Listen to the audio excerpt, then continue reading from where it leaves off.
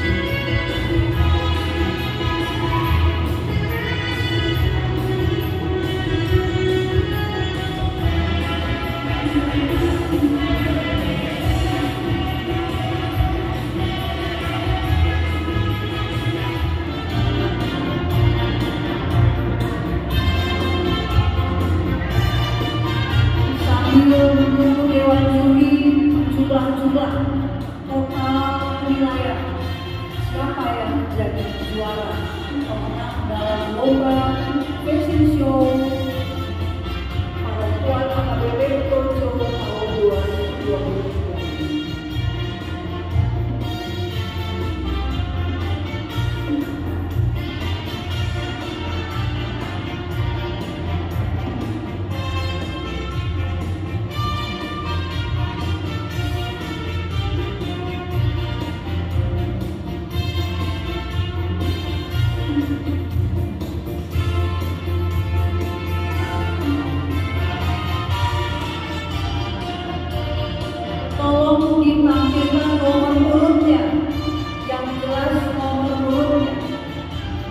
jangan disembunyikan.